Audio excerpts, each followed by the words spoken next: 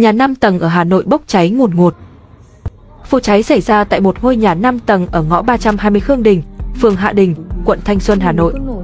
Sáng ngày 12 tháng 5, trao đổi với phóng viên dân trí, lãnh đạo đội phòng cháy chữa cháy và cứu nạn cứu hộ, công an quận Thanh Xuân cho biết vụ cháy kể trên xảy ra vào khoảng 6 giờ 45 phút cùng ngày, tại tầng tung của một căn nhà 5 tầng trong ngõ 320 Khương Đình. Tại hiện trường, ngọn lửa cùng khói bốc cao hàng chục mét khiến người dân sống xung quanh khu vực hoảng loạn. Nhân chứng cho hay, thời điểm cháy họ nghe thấy một số tiếng nổ phát ra, có thể là do nổ tấm tôn. Ngay sau khi nhận được tin báo, đội phòng cháy chữa cháy và cứu nạn cứu hộ đã điều 15 chiến sĩ cùng hai xe máy chữa cháy tới hiện trường dập lửa, cứu nạn cứu hộ. Đến khoảng 7 giờ 20 phút cùng ngày, đám cháy đã được khống chế, vị lãnh đạo nói. Cũng theo lãnh đạo đội phòng cháy chữa cháy và cứu nạn cứu hộ, công an quận Thanh Xuân, vụ việc không gây thương vong về người.